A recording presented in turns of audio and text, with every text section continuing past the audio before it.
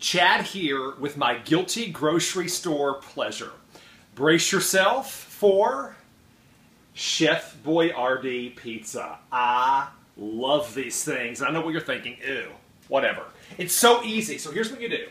Each box comes with two packets of flour. You put them in a gigantic bowl, mix it with one and a third cup of hot water. You all you do is use a fork and you roll it into a loose ball. No jokes. And then you take a tablespoon the box says Wesson oil. I use the off-brand, but it's vegetable oil. Coat it, cover it, put it somewhere warm for five minutes, and then you're ready to put it in your pans. Now, you can use two round pizza pans, but I like a thick crust, and look right here. For thick crust pizza, get a 9 by 13 glass dish, put in your dough, da, da, da, and then the best part of a Chef Boyardee pizza is without a doubt the sauce. You just spread evenly. Come on in here and show them this deliciousness. Get all up in here.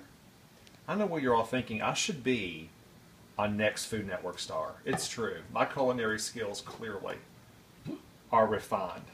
My cameraman has the hiccups. I'm not sure. I'm not sure if Kevin has the hiccups or if he wants to vomit because he thinks that Chef Boyardee pizza is nasty. Now, um, when I was a kid, we used to get the pepperoni Chef Boyardee pizza that had the pepperonis in the sauce. That was genius. My cameraman is dry heaving. Y'all can't see him, but it's funny. Okay, but I'm just going to put some pepperonis on here.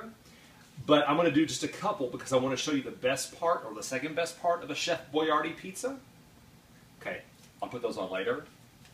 This is my favorite part ever. It's the cheese.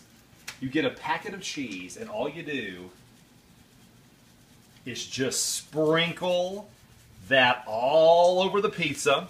Now, because I'm using this glass dish, we're to bake this for like 22 to 24 minutes. We're to pop it in the oven, and after 20 minutes, we're to have delicious, wait for it, Chef Boyardee pizza, my guilty grocery store pleasure.